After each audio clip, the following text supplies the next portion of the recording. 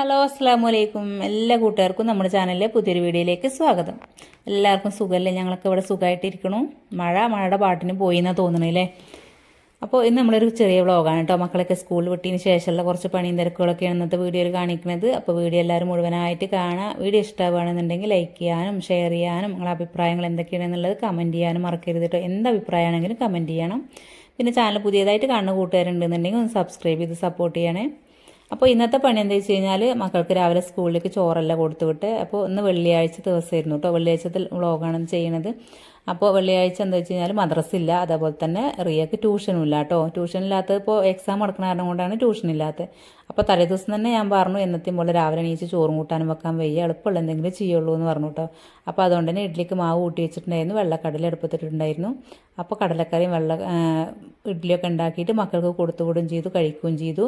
അപ്പോൾ മക്കളൊക്കെ സ്കൂളിലേക്ക് പോയതിന് ശേഷം പണി തുടങ്ങാൻ കേട്ടോ അപ്പോൾ ചോറും കറി രാവിലെ വെച്ചാൽ കുറച്ച് ബുദ്ധിമുട്ടിയാലും പണി ഒരുങ്ങും പക്ഷെ അത് വെക്കാത്ത കാരണം കൊണ്ട് തന്നെ ഇനി ആദ്യം മുതൽ പണി തുടങ്ങണം. അപ്പോൾ അപ്പോൾ അങ്ങനെയുള്ള കുറച്ച് പണിയും കാര്യങ്ങളൊക്കെയാണ് കേട്ടോ. അപ്പോൾ ആദ്യം തന്നെ അടുക്കള ഒന്ന് വൃത്തിയാക്കിയിട്ട് വിചാരിച്ചു. പാത്രങ്ങളൊക്കെ ഒരുപാട് കഴുകാനുള്ളത് അതൊക്കെ ഒന്ന് അടുക്കി പെറുക്കി വൃത്തിയാക്കി തുടച്ചിടണം. എന്നിട്ട് വേണം നമുക്ക് ചോറും കറികളൊക്കെ വെക്കാൻ വേണ്ടിയിട്ട് കേട്ടോ. അപ്പോൾ ഈ വീട്ടമ്മമാർക്ക് ഇതൊക്കെ തന്നെയല്ലേ പണി? നമ്മൾ ജോലിക്ക് പോവുകയാണെങ്കിൽ ആ ജോലിയും കൂടി എക്സ്ട്രാ ഉണ്ടാവും മാത്രം. അപ്പോൾ നമ്മൾ ഈ ജോലിയൊക്കെ ചെയ്യേണ്ട. ഒരു മിഡിൽ ക്ലാസ് ഫാമിലി ആണെന്നുണ്ടെങ്കിലൊക്കെ നമ്മൾ ഈ പണികളും കാര്യങ്ങളൊക്കെ കഴിഞ്ഞിട്ട് മക്കളെ കാര്യങ്ങൾ നോക്കിയിട്ട് വേണം ജോലിക്ക് പോകണമെന്നുണ്ടെങ്കിൽ തിരിച്ച് ജോലി കഴിഞ്ഞ് വരുമ്പോൾ ഈ പണികൾ കാര്യങ്ങളൊക്കെ ഉണ്ടാവും. അല്ലാത്തവരാണെന്നുണ്ടെങ്കിൽ ചിലപ്പോൾ ജോലിക്ക് ആളും കാര്യങ്ങളൊക്കെ ഉണ്ടെങ്കിൽ ചിലപ്പോൾ ഇത്ര തന്നെ ബുദ്ധിമുട്ടുണ്ടാവില്ല ഇനി അതല്ലെങ്കിൽ വീട്ടിൽ എക്സ്ട്രാ വേറെ ആൾക്കാരൊക്കെ ഉണ്ടെന്നുണ്ടെങ്കിൽ ചിലപ്പോൾ അടിക്കാനോ തുടക്കാനോ എന്തെങ്കിലുമൊക്കെ ഒരു ഹെൽപ്പൊക്കെ ഉണ്ടാവും കേട്ടോ അപ്പോൾ ഞാനിത് പാ ആദ്യം സ്റ്റോവും ഇതിനൊക്കെ തുടച്ച് വൃത്തിയാക്കിയിട്ട് ഇനി പാത്രങ്ങളൊക്കെ കഴുകാനുണ്ട്. അപ്പോൾ പണികളുടെ കാര്യം പറഞ്ഞപ്പോൾ ഞാനൊക്കെ നമ്മുടെ പണിയും കാര്യങ്ങളുടെയും കാര്യങ്ങളൊക്കെ എപ്പോഴും ഇങ്ങനെ പറഞ്ഞുകൊണ്ടിരിക്കും കേട്ടോ പക്ഷെ ഇപ്പോൾ ഞങ്ങൾ മദ്രസ ഗ്രൂപ്പ് ഉണ്ടാക്കിയിട്ടുണ്ട് കേട്ടോ. അപ്പോൾ ഒന്ന് മുതൽ പത്ത് വരെ ഞങ്ങൾ ഒന്നിച്ച് പഠിച്ച് എല്ലാവരും കൂടിയിട്ട് ഒരു ഗ്രൂപ്പ് ഉണ്ടാക്കിയിട്ടുണ്ട്. അപ്പോൾ അതിൽ നല്ല രസമാട്ടോ അപ്പോൾ പത്തിരുപത് വർഷങ്ങൾക്ക് ശേഷം ഞങ്ങൾ എല്ലാവരും കണ്ടുമുട്ടാണ് ഗ്രൂപ്പിൽ അപ്പോൾ അതിൽ എട്ടാം ക്ലാസ് കല്യാണം കഴിഞ്ഞോലും ഒമ്പതാം ക്ലാസ് കല്യാണം കഴിഞ്ഞോലൊക്കെ ഉണ്ട് കേട്ടോ അതിൽ പിന്നെ അത്യാവശ്യം കുഴപ്പത്തില്ലാത്ത രീതിയിൽ വലിയ വലിയ ആങ്ങളമാരുടെ കുഞ്ഞു പെങ്ങളായിട്ടുള്ള ഒരാളുണ്ടായിരുന്നു കേട്ടോ അവളിപ്പോൾ വീഡിയോ കാണുന്നുണ്ടാവും. അപ്പോൾ ഓളെ കല്യാണം കഴിഞ്ഞത് ഈ പറയുന്ന പോലെ തന്നെ ഞങ്ങൾ സ്കൂളിൽ ഞങ്ങൾ ഒന്നിച്ച് തന്നെയായിരുന്നു കേട്ടോ അപ്പോൾ മദ്രസ പത്താം ക്ലാസ് കഴിഞ്ഞ് പഠനോളെ കല്യാണം കഴിഞ്ഞു കേട്ടോ ഒരു മൂല്യമാരെ ഫാമിലിയൊക്കെ കല്യാണം കഴിപ്പിച്ച് വിട്ടത്.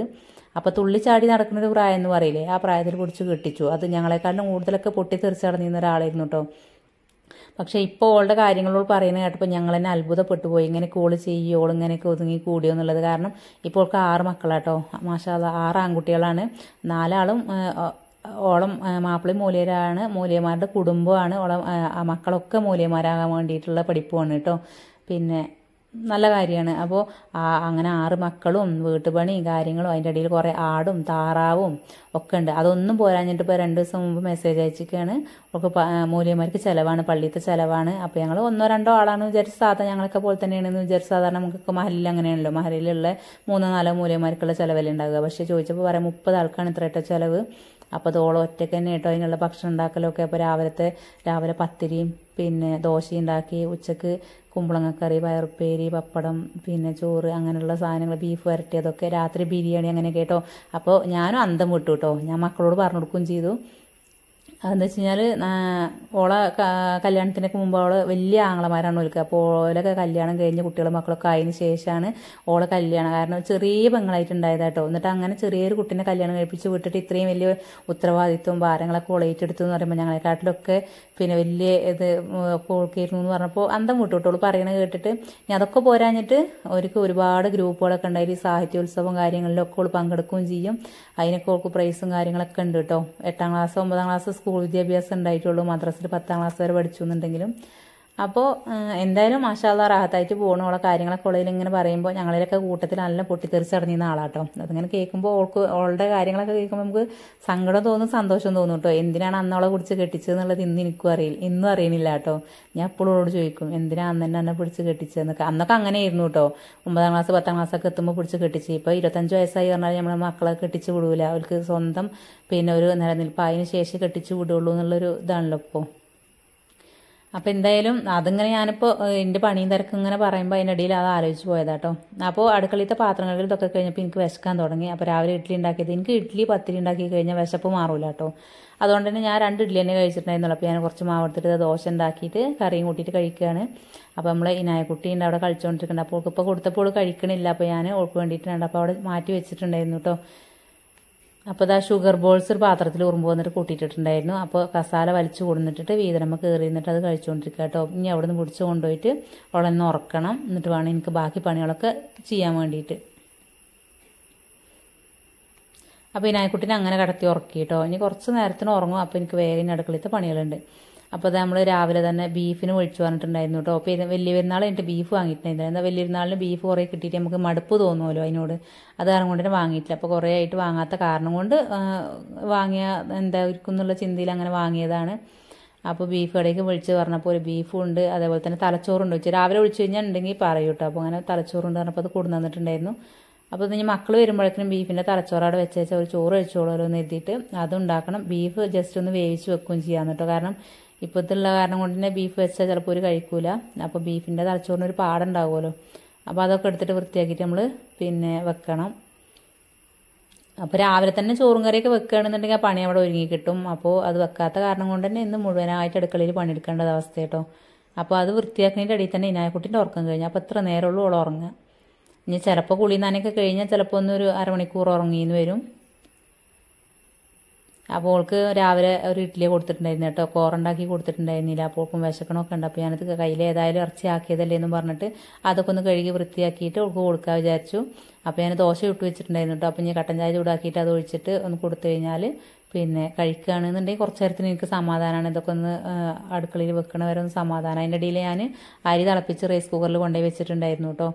അപ്പോൾ ഇതൊക്കെ ആകുമ്പോഴേക്കിനും അതും വെന്തോളൂല്ലോ വിചാരിച്ചിട്ട് അപ്പോൾ എന്താ ഈ നായക്കുട്ടിക്ക് ഭക്ഷണം കൊടുക്കാൻ വേണ്ടി നിൽക്കുകയാണ്. അപ്പോൾ താഴത്തേക്ക് ഇറക്കി വിട്ട് കഴിഞ്ഞാൽ പിന്നെ പോയി കഴിഞ്ഞാൽ എനിക്ക് തിന്നാൻ കൊടുക്കാൻ നല്ല പാടാട്ടോ. അതുകൊണ്ട് തന്നെ വീതനമെന്ന് ഇറക്കി കൊടുത്തില്ല. അവിടെ തന്നെ ഇരുത്തിയിട്ട് തിന്നാൻ കൊടുക്കാൻ വിചാരിച്ചു. അല്ലെങ്കിൽ പിന്നാലെ ഓടേണ്ടി വരും.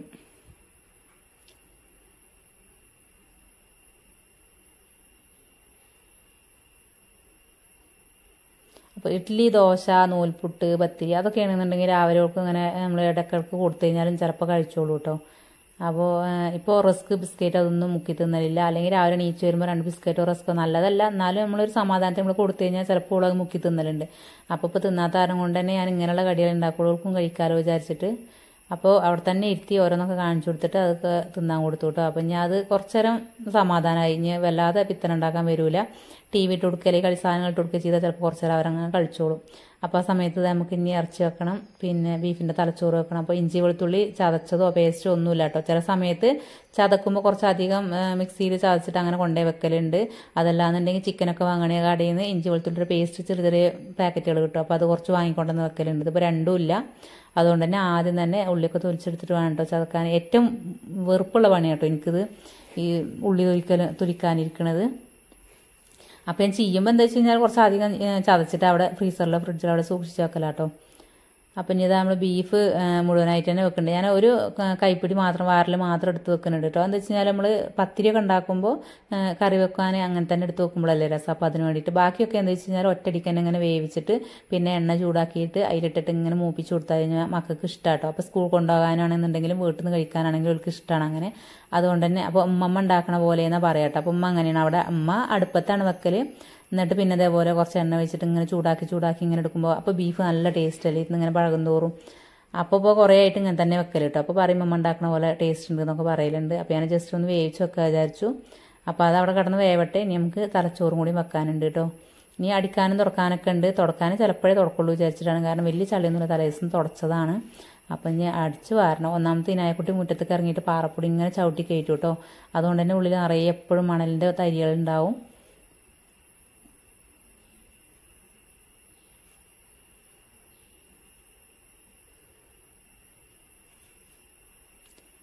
അപ്പോൾ ഞാൻ ബീഫിന്റെ തലച്ചോറൊക്കെ നാടൻ രീതിയിൽ വെക്കുന്നതൊക്കെ ചാനലിൽ അപ്ലോഡ് ചെയ്തിട്ടുണ്ട് കേട്ടോ ഷോർട്ട് വീഡിയോ ആയിട്ട് നിങ്ങൾക്ക് ആവശ്യമുണ്ടെങ്കിൽ ഞാനിവിടെ കമന്റിൽ പിൻ ചെയ്ത് കൊടുക്കുക കയറി കണ്ട് നോക്കുക. ഇന്നിപ്പോൾ ഞാൻ വെക്കുന്നത് വെച്ച് കഴിഞ്ഞാൽ അങ്ങനെ ചെറിയ ജീരകവും കുരുമുളകൊന്നും ചതച്ചിട്ട് അങ്ങനെയല്ല വെക്കുന്നത് ഞാനിപ്പോൾ ബീഫിനുണ്ടാക്കിയ മസാല ഉണ്ടല്ലോ ഇഞ്ചി വെളുത്തുള്ളിയൊക്കെ ചതച്ചാൽ അതന്നെ ഇട്ടിട്ട് അങ്ങനെ തന്നെ വെക്കണം കേട്ടോ അപ്പോൾ അത് ആ സമയം കൊണ്ട് നമ്മൾ ബീഫൊക്കെ വെന്ത് വന്നിട്ടുണ്ട്. ഇനി ഇത് അവിടെ അടച്ച് വെക്കുന്നുണ്ട് ഇനി മക്കൾ സ്കൂൾ വരുന്ന സമയത്ത് അവർക്ക് ആവശ്യമുണ്ടെങ്കിൽ മാത്രമേ ഉള്ളൂ ഞാനത് എടുത്തിട്ട് നേരാക്കി കൊടുക്കുകയുള്ളൂ പിന്നെ എല്ലാവരും വെക്കണ പോലെ ഉള്ളിയും തക്കാളിയൊക്കെ വഴറ്റിയിട്ട് അങ്ങനെ ഞാൻ വെക്കലില്ല കേട്ടോ. ഞാൻ അങ്ങനെ തന്നെ വെച്ചിട്ട് എണ്ണയിൽ അങ്ങനെ ഫ്രൈ ആക്കി കൊടുക്കലാണ്. അപ്പോൾ നമ്മൾ ബീഫിന്റെ തലച്ചോറ് അവിടെ റെഡിയാക്കി വെച്ചു. ഇനി അടിക്കാനും ഇതാക്കാനൊക്കെ ഉണ്ട്. അപ്പം തുടക്കണില്ല വിചാരിച്ചു കേട്ടോ. ഇനി ഇപ്പം തന്നെ സമയം ഒരുപാടായി. ഇന്നിപ്പോൾ ചോറും കൂട്ടാനൊക്കെ വെക്കാൻ ആദ്യമൊക്കെ നിന്നിക്കല്ലേ. അപ്പോൾ സമയം ഒരുപാടായി കേട്ടോ. ഇനി നമ്മൾ കുളിയൊക്കെ കഴിഞ്ഞ് നിസ്കരിക്കണമെങ്കിൽ സമയം വഴുകില്ല അപ്പോൾ അതുകൊണ്ട് തന്നെ തുടക്കണില്ല. വിചാരിച്ചൊക്കെ ഒന്ന് ജസ്റ്റ് അടിച്ചു വാരിയിടാം. അപ്പോൾ റിയയുടെ റൂമിൽ ഞാൻ രാവിലെ ഒന്ന് കയറി നോക്കിയിട്ടുണ്ടായിരുന്നു കേട്ടോ. രണ്ട് മൂന്ന് ദിവസമായിട്ടുള്ള റൂമിൽ ഞാൻ കയറലില്ല അടിച്ചു വാരി ഇങ്ങനെ പോരലേ ഉള്ളൂ. ഓളെ റൂമിൽ കയറിയ കയറാനും ചളിയും പൊടിയൊന്നും ഉണ്ടല്ലോ. എപ്പോഴും അടച്ചിടും. ഈ നായക്കുട്ടി കയറിയിട്ട് ബുക്കുകൾ എടുക്കുന്നതിന് വേണ്ടിയിട്ട് ഓളെ എപ്പോഴും അടച്ചിടുന്നതാണ്. പക്ഷെ ഇപ്പോൾ രണ്ട് മൂന്ന് ദിവസമായിട്ടുള്ള തുണികളും കാര്യങ്ങളൊക്കെ അതിന്റെ ഉള്ളിൽ അങ്ങനെ കൊണ്ടുപോയിട്ട് കേട്ടോ. അപ്പോഴാണ് ഞാൻ നോക്കിയപ്പോഴാണ് കണ്ടത്. അപ്പോൾ വിചാരിച്ചു ഞാൻ ഒന്ന് വൃത്തിയാക്കിയോ ഞാൻ വൃത്തിയാക്കുന്നത് ഓൾക്ക് ഇഷ്ടമല്ല. കാരണം എന്താ വെച്ച് കഴിഞ്ഞാൽ അവളെ ബുക്കുകളോ സാധനങ്ങളോ അങ്ങോട്ടും കൂടെ മാറിക്കഴിഞ്ഞാൽ ഓൾക്ക് നോക്കിയാൽ കിട്ടൂലല്ലോ പെട്ടെന്ന്.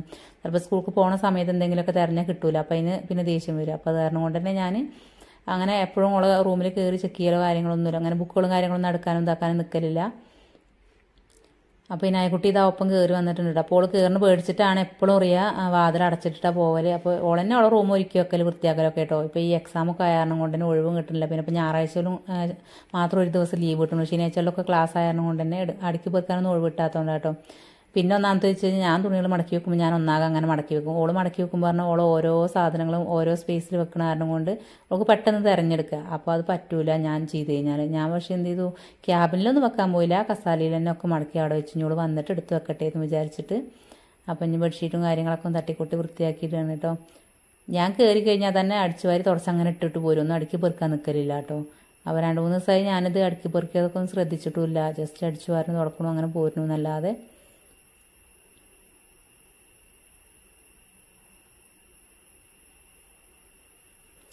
അപ്പോൾ ഈ നായക്കുട്ടി പിത്തന കാട്ടണീനെ അണ്ടോളം കയറ്റാത്തത് അതിന്റെ ഉള്ളിൽ പിന്നെ സൂചികളും സ്ലൈഡും ക്ലിപ്പൊക്കെ ഉണ്ടാവും ഒക്കെ വലിച്ചു വാരിയിട്ടുള്ളൂ കേട്ടോ.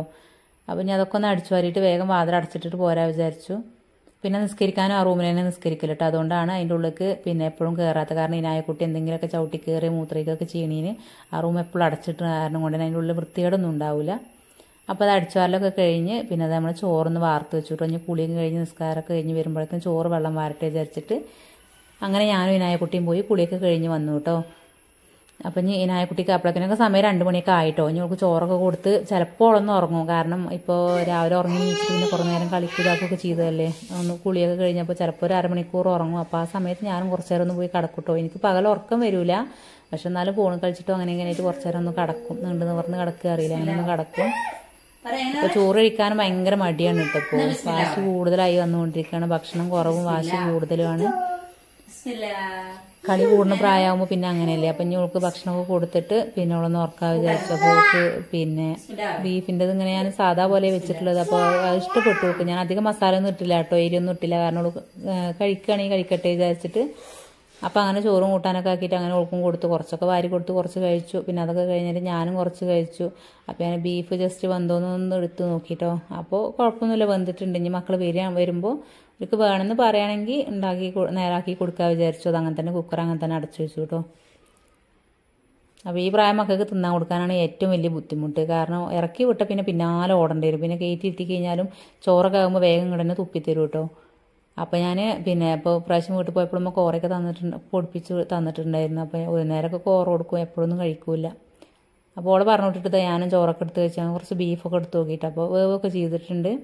അപ്പോൾ ഞാനും ചോറൊക്കെ തിന്നിട്ട് അവളെ കടത്തി ഉറക്കാൻ വേണ്ടി പാൽ കൊടുത്തപ്പോൾ കുറച്ച് നേരം ലൈറ്റൊക്കെ ഓഫാക്കി കർട്ടനൊക്കെ താത്തിയപ്പോൾ കുറച്ച് നേരം അങ്ങനെ കിടന്ന് ഉറങ്ങിയിട്ടോ അപ്പോൾ നീച്ച് വന്നിട്ട് ഞാൻ പിന്നെ മക്കൾ വരുമ്പോഴൊക്കെ എന്തെങ്കിലും ഉണ്ടാക്കട്ടെ വിചാരിച്ചത് കുറച്ച് പായസം വെച്ചു അടപ്രഥമൻ ഉണ്ടാക്കാൻ വേണ്ടിയിട്ട് അട വാങ്ങിയിട്ടുണ്ടായിരുന്നു. അതും കുറേ മുമ്പ് വാങ്ങിയതാണ്. അപ്പോൾ അങ്ങനെ ഒരു പായസം വെച്ചു തട്ടിക്കൂട്ടിയിട്ട് മക്കളെന്താണെന്ന് അറിയില്ല. പായസം കുടിക്കാത്ത മക്കൾക്ക് ഒരുപാട് ഇഷ്ടമായിട്ടോ അപ്പോൾ അതിന്റെ റെസിപ്പി ഒന്നും കാണിക്കില്ല. ഞാൻ ഷോർട്ട് വീഡിയോ ആയിട്ട് ഇടാം. അപ്പോൾ ഈ നായക്കുട്ടിയും കഴിച്ചു. അപ്പോൾ ഇതൊക്കെ ഉള്ളൂ ഇന്നത്തെ വീഡിയോ. അപ്പോൾ വീഡിയോ നിങ്ങൾക്ക് എല്ലാവർക്കും ഇഷ്ടമായി വിചാരിക്കുന്നു. ഇഷ്ടമായിച്ചാൽ ലൈക്ക് ചെയ്യുക ഷെയർ ചെയ്യുക സബ്സ്ക്രൈബ് ചെയ്ത് സപ്പോർട്ട് ചെയ്യുക പുതിയൊരു വീഡിയോ ആയിട്ട് വീണ്ടും കാണുന്നവർ എല്ലാവർക്കും അസ്സാം വലൈക്കും